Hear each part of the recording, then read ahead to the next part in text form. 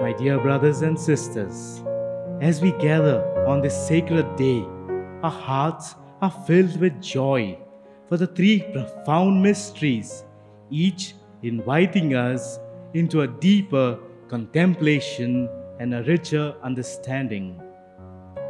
First, we celebrate the institution of the Eucharist, the sacred gift of Christ's body and blood, given to us as a substance for our journey through life. In this simple act of sharing bread and wine, we are reminded of the depth of God's love for each one of us and the profound intimacy He desires to have with each one of us, of His children. Secondly, we commemorate the institution of the ministerial priesthood, entrusted with the solemn duty of perpetuating the Eucharist throughout life.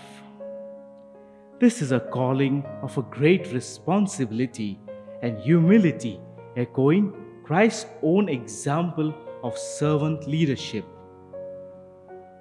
And thirdly, we reflect upon the commandment of fraternal charity, the commandment of love that binds us together as a community of believers.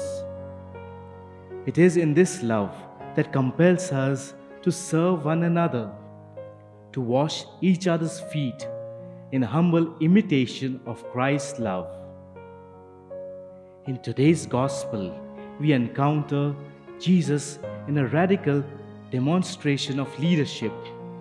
Despite his divine nature, Jesus stoops down to wash the feet of his disciples, teaching us that true power is found in service and not in domination. This sacrificial love displays so vividly in his action, challenging us to re evaluate our own understanding and authority and power. But it is not just about the act in itself, it is about the depth of love behind all it holds. Jesus does not just wash the feet of his disciples, he washes the feet of Judas, the one who was to betray Jesus. In this intimacy of love, we find a profound invitation to embrace even those who may hurt or betray us.